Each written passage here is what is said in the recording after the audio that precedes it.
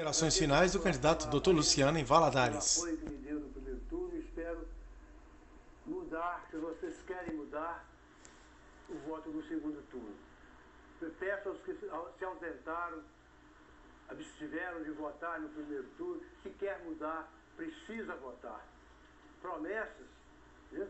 de novo, novamente, é um governo que se preocupa, não preocupa com a periferia de governador Valadares, é um governo da classe rica de governador Valadares. Você pode olhar os carros na rua, olha os carros que estão adesivados em Valadares.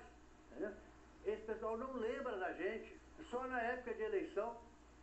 Então, Valadarense, você da periferia, você que acredita, que, que, que ficou comigo 42 anos no meu trabalho, eu prestando, ajudando, prestando meu serviço a vocês. Eu peço o apoio, que eu vou fazer uma, uma administração para vocês. Pessoal está preocupado de aeroporto, porque eles adoecem, tem que pegar o jatinho para São Paulo. Nós não, você tem que ir para a fila do regional. Você tem que ficar no corredor do regional. Você tem que ficar na policlínica esperando dois anos na cirurgia, um ano o exame. É para esses que eu vou governar. Eu não vou governar para a minoria rica. Conto com vocês maioria da população de Valadares, que mostrou na eleição 62% rejeitou esse governo aos dois candidatos. Está encerrado o debate entre os candidatos à Prefeitura de Governador Valadares.